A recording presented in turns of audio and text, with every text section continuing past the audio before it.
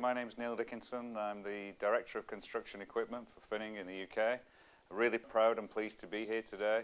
Uh, we're here because uh, we're welcoming some people from the military, two sappers from Afghanistan who uh, wrote to us because they'd had an incident out there and because of the equipment they felt very proud and pleased that they'd survived and so were we. We were incredibly pleased to see the guys here today and welcome them to this Caterpillar factory.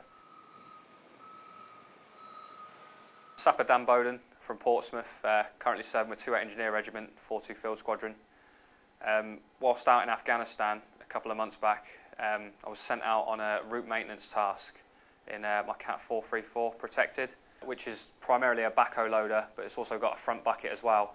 Uh, finished the task, filled in all the potholes, uh, and on the way back into the, the FOB, the forward operating base, um, an IED was initiated underneath my machine. Um, I didn't take it in at first, sort of looked backwards, looked forwards at uh, the vehicle's front and rear, and they were both still intact, so didn't quite understand. Um, it was when I sort of jumped out of the vehicle, looked around, and uh, realised it was actually my vehicle that had been hit. An IED is uh, it's an improvised explosive device. It's used by the enemy to uh, sort of counteract our uh, movements.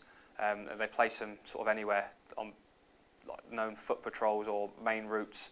Um, and they're just used as a hindrance to us. They could be used to take out machines or vehicles, or they could be used to destroy the route.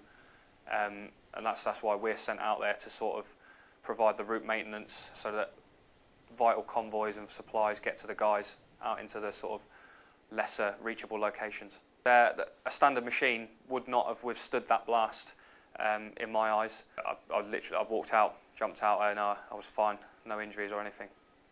I'm really, really lucky. The bit of kit that I was in, uh, it saved my life. So I just wanted to say thank you to the guys from all over, sort of those that designed it, to building it, to those that supplied it as well. The guys out on the ground are really appreciating all the work you're doing back here. Um, I mean, it's, you, it's you guys that are not getting the sort of uh, the publicity and that. It's, it's our, us guys out on the ground, but it's really it's all about Caterpillar sort of providing us with the kit and then Finning sort of doing the uh, the final upgrades, all the armour and stuff like that. W without either, um, I wouldn't be stood here today. So I'm really grateful for all the work, all the effort they've put in.